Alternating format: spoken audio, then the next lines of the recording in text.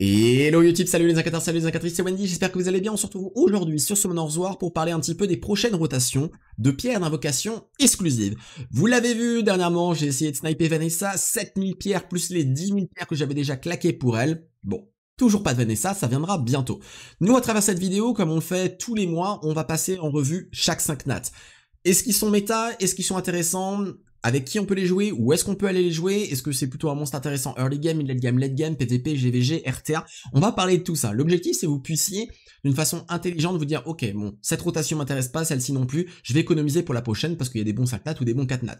N'oubliez pas comme d'hab en commentaire à me dire ce que vous allez sniper, moi ça m'intéresse toujours de savoir un petit peu quel est euh, votre choix coup de cœur et puis on peut donc discuter si vous savez pas trop, si vous hésitez entre deux rotations parce qu'il y a des bons 4 nats et vous voulez compléter des familles, bah n'hésitez pas à en parler bien entendu comme d'habitude. Si c'est pas encore fait, on peut rejoindre la dictature juste en s'abonnant à la chaîne. Alors, on va parler des rotations, let's go, on va cliquer là-dessus. Alors la rotation actuelle est plutôt pas mal, plutôt pas mal. On va parler déjà des 4 nats. Dans les 4 nats, on a ici une petite Lupinus. Hein. Lupinus qui est pas dingue, ça reste du skill up pour deux monstres intéressants. Lapis dans la partie early game, parce que la, Lapis est carry Farmer Faemon. Donc tant qu'on peut la full skill, c'est mieux. Ça fait aussi le taf en GB10, DB10, Necro B10. Moi, c'est ce que j'ai fait sur le reroll. Teoa, Teoa Art, ça fonctionne, plus après le Rift Feu. Donc c'est pas mauvais. Après, c'est pas le monstre top tier PVP, GVG, RTA, loin de là, mais il y a quand même un petit peu de contrôle de jeu d'attaque, il y a du break def, on peut faire des belles choses sur une partie très early en GVG et dans la partie arène. Moi c'est ce que j'ai fait sur mon reroll, et pour l'instant elle continue, on va dire, de me carrer les fesses. Plutôt cool, elle fait aussi un petit peu de passage des dimensions, j'utilise en passage des dimensions, donc c'est pas mal pour une lapis. Pour les joueurs un peu plus late game, bien entendu, ça sera pour la chevalier magique lumière, Iris. Après, on a Maurice. Maurice, ancien HOH, je trouve que ça vaut pas forcément le coup. Il n'y en a pas un extraordinaire, bien entendu, en dehors de tableau, le light, dans la famille, et le peu de personnes qui ont déjà tableau, à mon avis, avec les HOH Maurice et Monty qu'on a eu dernièrement, ils devraient déjà être full skill. Par contre, à côté, on a une danseuse chakram. Ça, c'est très très intéressant. Alors oui, elle s'est fait nerfer, elle a perdu son lead speed, donc bien entendu, ça change un petit peu la donne, mais elle reste tout de même très intéressante. Du break def, donc ça c'est toujours cool, et euh, sur le sort 2, on a la possibilité d'étourdir l'ennemi, donc très très bien. C'est un monstre qui est très utilisé dans la partie Kairos Dungeon. Kairos Dungeon, ça veut dire DB10, Necro B10, parce qu'elle est élémentaire feu, donc elle n'a pas l'avantage sur le géant. Cependant, au-delà de ça, moi j'utilise beaucoup en siège battle, beaucoup en GVG, deux monstres feu, plus par exemple, euh, par exemple un petit, euh, un petit, euh, excusez-moi, un petit loup-garou dark je, son nom me revient pas, ça vous allez me reprendre forcément. Un petit loup-garou dark, par exemple, dans les compositions avec une Seara Lorraine Perna, c'est-à-dire que Seara va pas focus les monstres feu parce qu'il y a l'un des avantages élémentaires. Lorraine va essayer de mettre le break dev du coup sur notre petit loup-garou Dark, ce qui est plutôt une bonne chose, parce que s'il a le break dev, derrière Perna va taper dessus, et à chaque fois qu'un ennemi tape dessus, ils vont se prendre 12% des max HP du monstre Dark euh, en termes de dégâts. Donc c'est très très intéressant de jouer double chakram feu, donc ça peut être justement euh, bah, Shaina Maruna. Donc si vous avez Maruna, ça peut faire un bon combo, et en plus de ça, pour du Teoa Teoa Art, quelques parties de labyrinthe, c'est excellent. Donc, très bon monstre, tout le monde devrait avoir, je pense, une Shaina montée full skill sur son compte. Euh, ça dépanne plus d'une fois. On a une petite Rakshasa Feu. Rakshasa Feu qui a perdu un petit peu de son potentiel, ça se joue plus vraiment en GB10, alors qu'avant son passif fonctionnait toujours sur du GB10, même si elle avait des avantages élémentaires, c'est plus le cas.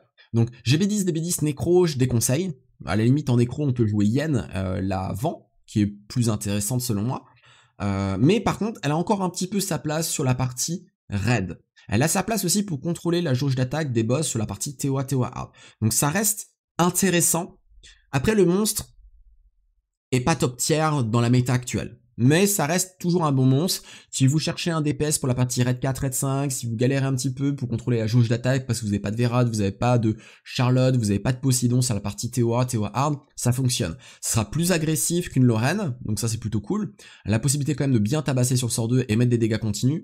Donc potentiellement sur certains boss euh, qui peuvent prendre les dégâts continus, euh, par exemple sur le labyrinthe, c'est plutôt sympathique. Après, on a derrière une, harpisme, une harpe une chose de harpe, j'ai dit une harpiste. Euh, c'est sonnet, elle est pas dingue, mais ça permet de skill up les deux sœurettes, donc Triana et Harmonia, qui elles sont plutôt top tier. Partie RTA, GVG, Siege Battle, c'est là où ça va dominer plus.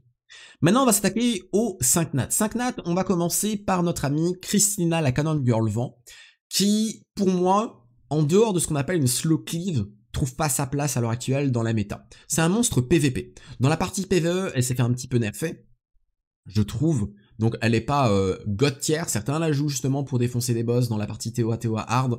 Moi, je trouve que là où elle est forte, c'est dans une slow cleave. Slow cleave, c'est quoi? Si vous êtes plus lent que l'ennemi, vous prenez la première attaque de l'ennemi, donc euh, voilà, les quatre ennemis vont jouer, par exemple dans la partie arène, et vous, derrière, ça va être break death et on défonce tout. Son sort 3 fait quand même pas mal de dégâts. Euh, son sort 3, son sort 2, cumulé avec son passif de son sort 3. À chaque fois euh, qu'un allié est attaqué, augmente de 15% la quantité de dégâts qui seront infligés au prochain tour. Donc, d'où l'intérêt d'être en slow cliff parce que ça va faire proc le passif. Cet effet peut s'accumuler jusqu'à 5 fois. Et donc, bah, derrière, on va juste attaquer 5 ennemis sur un break death, par exemple, d'un galion avec un buff attaque.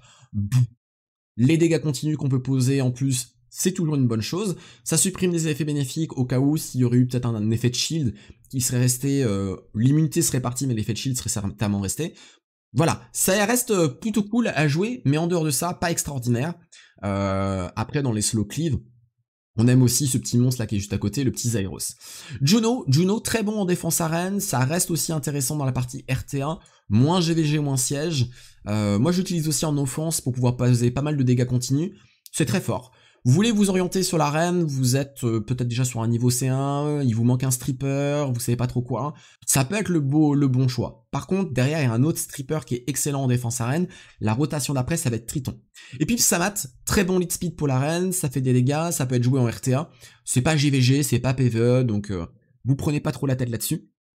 RTA, Arène, c'est là où ça va dominer. C'est un lead speed 33, vous n'avez pas lead speed 33, vous venez de louper Vanessa, bah cette semaine, vous avez Psamat, même si Psamat, je trouve, en défense arène est moins intéressant, alors qu'en offense arène, il est peut-être meilleur. Je trouve que le passif de Vanessa est plus difficile, finalement, à contrer. Là, vous avez euh, un Lucian euh, bien rapide qui tabasse, il le tue, et le deuxième avec un Will. Bon, bah potentiellement, euh, vous n'êtes pas embêté, quoi. Donc, belle petite rotation, il y a des bons 4 nats, euh, surtout Shaina qui va dominer, euh, on a aussi Wa qui est pas mauvaise, et après on a du skill up, on a de la slow cliff team, donc là on est vraiment orienté sur quelque chose autour euh, on va dire plutôt du PVP, hein, plutôt PVP, il n'y a pas vraiment GVG, ce genre de choses, quoi qu'on pourrait slow cleave aussi dans la partie GVG, mais c'est un peu plus compliqué, je pense, c'est un petit peu plus compliqué. Allez, la semaine prochaine, c'est une bonne rotation aussi, vous pouvez voir que c'est un peu des enfoirés parce qu'ils enchaînent les duos. Euh, on a eu Vanessa et Psamat, donc deux lead speed 33, les deux seuls qui sont élémentaires, hop, boum, ça passe à la trappe, après pendant X rotations. Là, vous voulez des jumelles? Ok, donc là, tu vas tout dépenser pour Shaina, et la semaine d'après, euh, t'as la Boomerang, t'as Maruna. Maruna qui est un petit peu la reine du stun, pour la partie Tewa Tewa Hard, pour du labyrinthe et pour certains euh, sièges battle comme je vous ai expliqué, par exemple pour contrer les Sahara, Lorraine, Perna. Shazun. Shazun n'est plus aussi forte qu'avant, bien entendu depuis l'arrivée de Fran, parce que Fran, free to play, très facile à skill up, très intéressant. Cependant, Shazun, ça reste un autre healer pour la partie siège battle. Elle est très bien combinée avec des choses qui doivent être très tanky. Très tanky, mais qui peuvent se faire avoir. Moi, je l'aime bien la combiner justement avec un avec des teams de temps en temps avec un Skogul ou quand j'ai besoin d'un deuxième healer qui met un buff attack par exemple pour un bomber Malaka dans les siege battle j'aime toujours utiliser euh, cette personne là j'aime aussi l'utiliser j'ai déjà parlé dans la partie GVG6 battle c'est là où elle va être la plus intéressante je pense à l'heure actuelle c'est face aux compositions Odin. Vous jouez un Théomars Chazun, Théomars va se faire taper par le Odin, ça fait proc l'endurance, d'ailleurs Chazun le full heal, ça permet de temporiser. Euh, notre ami euh, Théomars va jouer sur Odin parce qu'il aurait utilisé tous ses savoirs s'il n'était pas en vieux et qu'il n'aurait pas volé nos, effets bénéfiques, ça fonctionne. Le seul problème, c'est qu'aujourd'hui, à haut niveau, G3, on va rencontrer des Odins qui vont être en violent. Potentiellement, ils nous OS, après ils proc, ils nous retirent l'endure et on est mort. Mais euh, très très fort Chazun, plus aussi excellente depuis l'arrivée de Fran, mais ça reste très intéressant. Après, c'est pas exactement les mêmes runages. Chazun, j'aime bien la jouer toujours euh, assez rapide, mais plutôt en vio. Alors que j'aime bien jouer Fran dans la partie euh, arène ou siège battle en swift, très rapide pour mettre l'immunité. et puis là, Chazun, je la mets avec beaucoup de résistance pour éviter de se faire contrôle, pour que le Fallen Blossom passe bien. Face à des compositions aussi qui pourraient poser le anti quand il y a des Orions, bah Chazun elle peut healer, là où Fran ne va pas forcément pouvoir le faire en dehors de son sort 2. Julien, c'est plutôt mauvais. Euh, dans la famille, Lueur peut être skill up, donc le haut, Jean peut être skill up aussi pour faire des gros dégâts euh, mono-cible, parce que c'est le feu, il fait pas mal de dégâts. Maruna, bah, j'ai expliqué, hein, c'est très intéressant pour du contrôle. il vous manque une boomerang pour jouer votre Talia, pour pouvoir jouer votre Shaina, ça peut être aussi le bon combo. Derrière, on a Stella. Stella, ça peut être pas mal. Je l'ai présenté là dans la vidéo parce qu'on a pu avoir dans le Hall of Heroes Tanya. Tanya, c'est un gros DPS mono-cible. Mais je vous ai parlé de Stella, je vous l'ai montré. Elle est bien, euh, pour moi, surtout dans la partie actuellement, siège battle pour pouvoir tuer les Mio, pour pouvoir tuer les Garo et les Laika. Donc ça, c'est un très bon contre. Donc bien entendu, à full skill. Susano, c'est moins intéressant parce que c'est un monstre fusion. Donc ça peut vous faire gagner une free fusion. Euh, après, si vous avez besoin de le skill up, si vous êtes courageux, vous pouvez faire des fusions. Après, le monstre est cool. C'est toujours joué sur un niveau, je pense, G1, début de G2. Dans la défense, siège battle, Susano, Orion, Garo, lead speed 30%, de gros dégâts, un passif qui fait que euh, il a 50% de résistance en plus. Je vous ai fait une vidéo dédicacée sur Susano, donc euh, il n'y a plus d'excuses maintenant si vous connaissez pas Susano, allez voir le potentiel du monstre où je lâche des 72k avec Susano. Hein. Euh, c'est un énorme DPS mono-cible. Je pense que ça doit être le 4 nat qui a le plus de base d'attaque sur le jeu. 910 points d'attaque au niveau 40 éveillé, c'est monstrueux. Les 5 nats, les 5 nats, ça c'est cool. On a Triton. Triton, early game, je vais déconseiller, mid game, bof. Euh, on a la possibilité de le jouer en despair pour la partie Teotihuacan Hard, deux sorts multi-cibles, un sort qui va retirer les effets bénéfiques, mais bon, c'est pas forcément extraordinaire, mais il y a une petite réduction de jauge d'attaque, donc on peut contrôler, mais on peut imaginer en despair, ça contrôle. On a un sort 2 qui va mettre le silence pendant deux tours, et ça c'est plutôt cool. Et puis on a un sort 1 qui renvoie les effets négatifs que l'aura pris. Donc ça c'est cool aussi, dans la partie TOA, mais c'est il est moins fort par exemple qu'un Okanos qui va pouvoir regagner la jauge d'attaque, euh, euh, c'est différent, et aussi moins fort qu'un Poséidon. Là, son rôle, il a, deux rôles pour moi, ça va être RTA et défense arène. Défense arène, il a une grosse speed de base maintenant, depuis qu'il a pris 15 points de vitesse à l'éveil. Et il a la possibilité, donc, avec un speed, de jouer en premier, retirer les effets bénéfiques, et peut-être des speed tunes ou changer l'ordre de jeu des monstres de votre team. Parce que il va peut-être faire en sorte que un ou deux monstres perdent 25% de leur jauge d'attaque, et ça fait que peut-être bah, Galion qui est censé mettre le break def et le buff attaque joue euh, après le DPS. Donc forcément ça, ça déspeed tune, enfin il y a un speed order qui est différent, votre team elle va chier, vous faites passer de dégâts et derrière ça va vous défoncer. Donc c'est très très fort en défense arène, euh, faut essayer euh, dans le late game en G1, en G1, G2, on les croise très souvent avec plus de 200 de speed, pour vous dire en termes de set. Donc ça sera Swift Wheel, peut-être pour se protéger d'un Léo, très rapide. Le mien, il est à plus 190, je crois, en Swift Wheel, un truc comme ça. Après, on a Zyros. Zyros, bah, bien entendu, le Dragon Feu. Dragon Feu, early game, mid game, late game, ça peut être tenté. Pourquoi? Parce que vous pouvez le jouer d'une façon très support en Desper, en speed HP HP. Euh, dans la partie Tewa Tewa Hard, ça va mettre des dégâts continus. Vous allez empêcher les ennemis de jouer leur sort 2 et leur sort 3. Ça peut être joué aussi un petit peu dans la partie pour farmer le HOH ou le labyrinthe, donc c'est pas mauvais. Ça va vous carry vos premières arènes. Ça va vous carry vos premiers GG. Donc ça c'est cool. Après, c'est pas un monstre PvE, c'est pas un monstre PvE dans le sens Kairos Dungeon, Rift, Raid, non. Mais le monstre est cool. Donc vous pouvez le jouer plutôt support au début, et puis quand vous allez vraiment vouloir l'utiliser que pour la partie GVG, Siege Battle, voire RTA, voire autre chose, vous le jouez en Rage, vous le jouez en Fatal Lame, bien speed tune avec une basse-tête, et, euh, ou un Galion, avec une Tiana avant, et vous déroulez ça.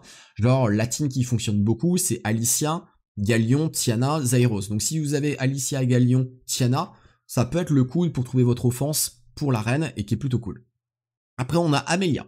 Amelia pour moi, euh, c'est pas trop PvE, mais vous pouvez quand même la jouer dans la partie Dragon Bédis au tout début, parce que quand elle est en forme humaine, à chaque tour, elle va mettre l'immunité et son sort 2 permet de retirer les effets négatifs. Donc c'est très bien pour contrer le, dragon.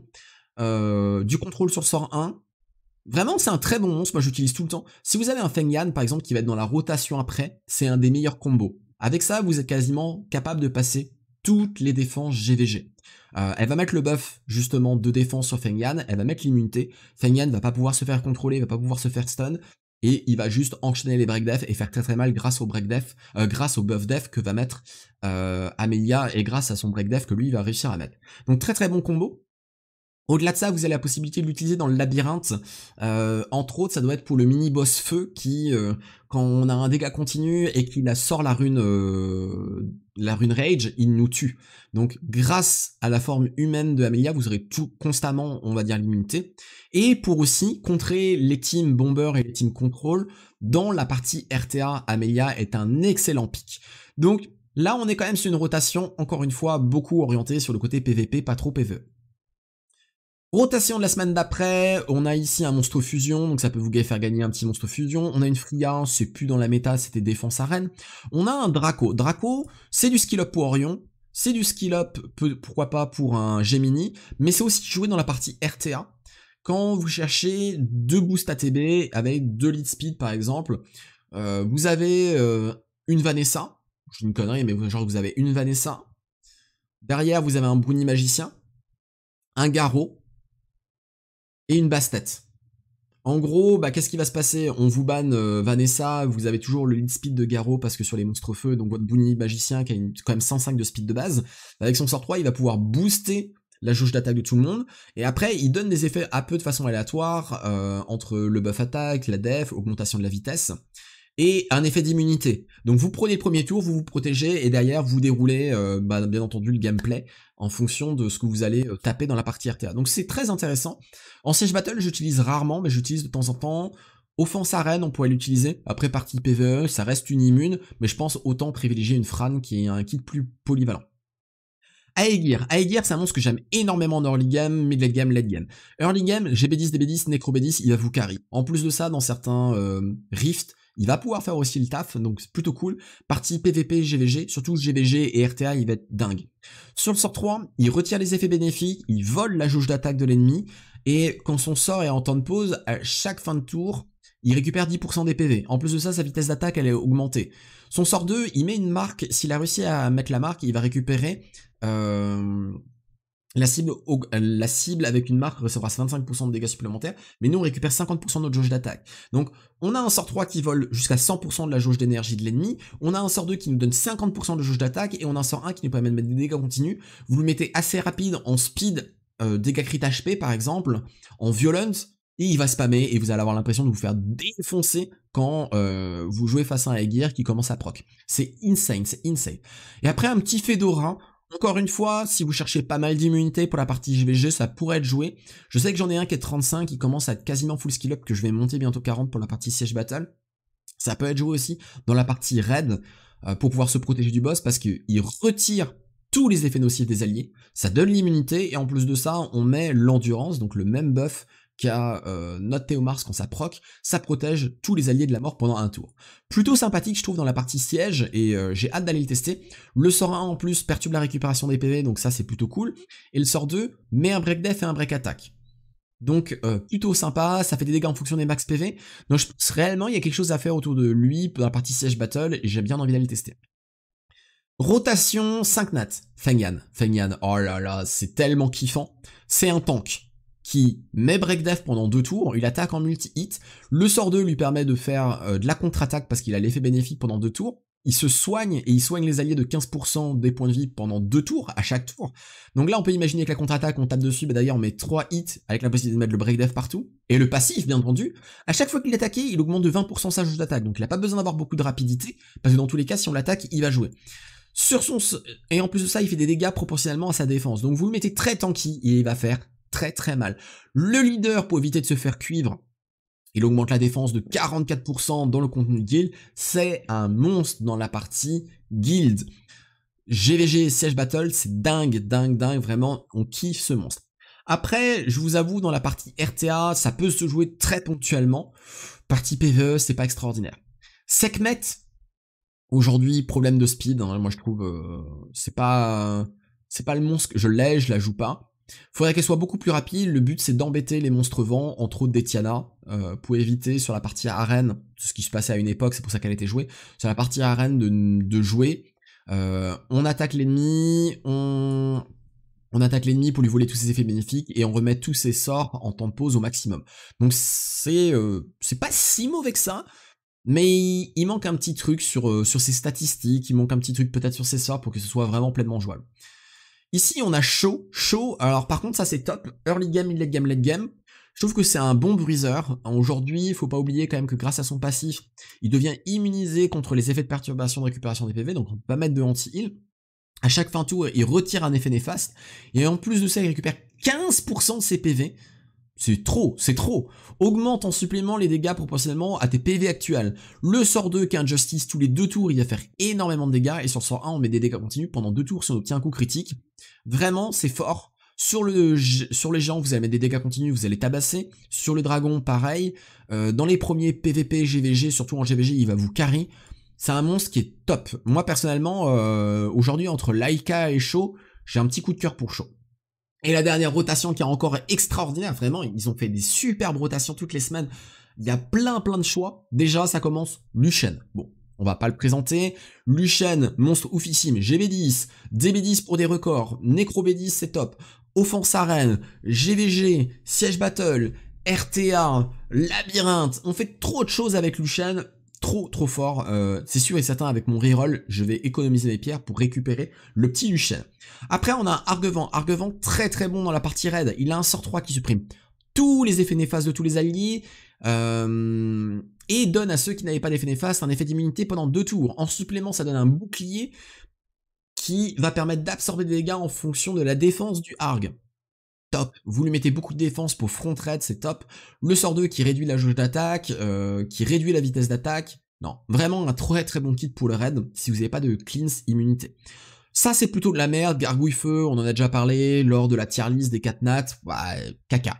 Caca, caca, honnêtement, à part l'avant, il n'y a rien d'extraordinaire. Verdil, monstre fusion, bon, pourquoi pas, ça peut éviter de faire une nouvelle fusion pour un, je crois que pour Balègre, ça peut éviter de refaire un Verdil. Après, on est dans un event fusion en ce moment. Si vous voulez faire Balègre, bah vous avez toute vous avez toute l'occasion de le faire. Donc, je sais pas trop quoi en penser. Chilling, très intéressant. Le sort 3, euh, qui est un passif qui permet, en fonction du nombre d'effets euh, positifs qu'il a sur la gueule, d'avoir plus de vitesse plus 19 points de vitesse par effet bénéfique, on vole un effet de renforcement chaque fois qu'on attaque, c'est très très fort pour contrer les Rakan, les Laika, les Wusa, les Laika Wusa par exemple, les Fengyan Laika Wusa, ça fonctionne très très bien. Un sort 2 qui booste le et la vitesse, et le sort 1 qui multi-hit et qui réduit la vitesse d'attaque des ennemis.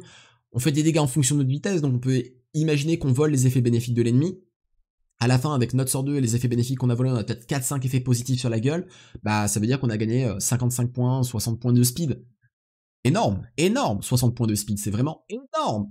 Vous allez jouer beaucoup avec le buzz speed et tout, vous allez peut-être mettre deux tours avant que l'ennemi joue, euh, vraiment très très bien.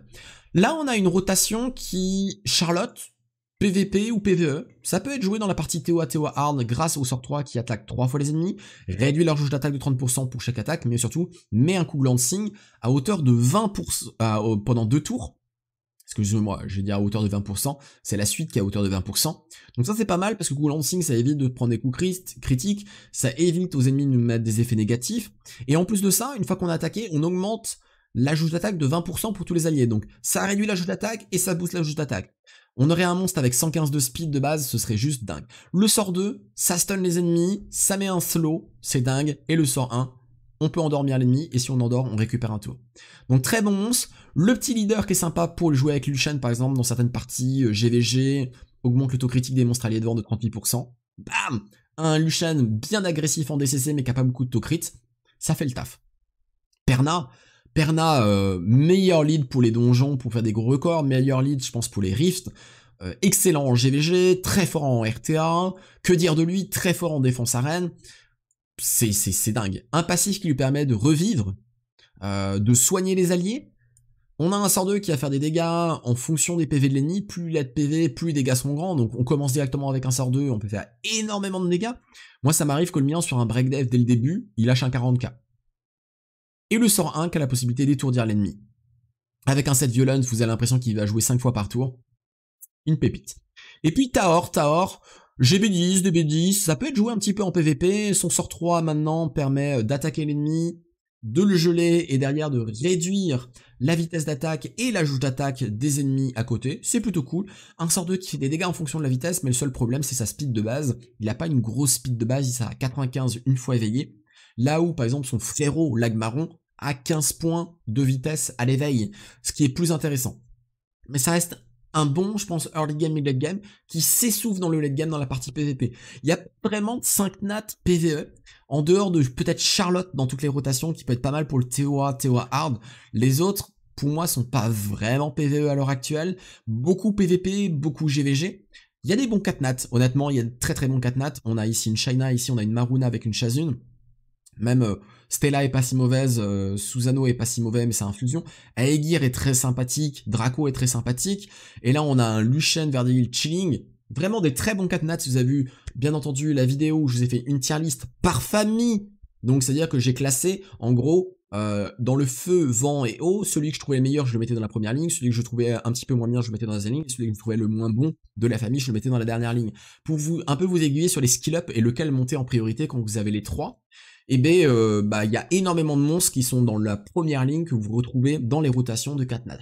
Donc moi, personnellement, sur mon main, il y a rien qui m'intéresse parce que j'ai déjà quasiment tout. Euh, j'ai déjà Psamat, j'ai déjà Juno et Christina, euh, cliff ça m'intéresse pas. Là, j'ai les trois. Là, j'ai les trois. Et ici, j'ai euh, Perna, Charlotte. Et vu que je vous ai dit dans Late Game Tower, c'était pas ouf. Donc, je vais attendre. Et les Katnad, je les ai tous. Il n'y a pas forcément de nouveaux Katnat en termes de skill up, moi, qui m'intéresse. Mes jumelles, elles sont full skill. Ma Chazune, elle est full skill. Ma Stella, elle est full skill. Mon Susano, il est full skill. Ma Wa aussi. Mon Aegis, elle est full skill. Mon Draco, il est full skill. Mon deuxième Orion, il est quasiment full skill. Et vu la rotation, j'ai déjà tous les 5 nats, ça m'intéresse pas. Et mes deux Luchen sont quasiment tout full, les deux full skill. J'en ai un, il manque, je crois, deux sorts. Et euh, bon, Sachant que j'ai déjà 2-5 nats, ça m'intéresse moins. Moi, j'attends Belenu, j'attends des Beast Rider, j'attends Bolverk et j'attends, bien entendu, Vanessa. Voilà pour les prochaines rotations. J'espère que j'ai pu vous aider. N'oubliez pas en commentaire, si vous avez des questions, je serai là pour y répondre. Ciao, ciao tout le monde, prenez soin de vous, bye bye et bon farming.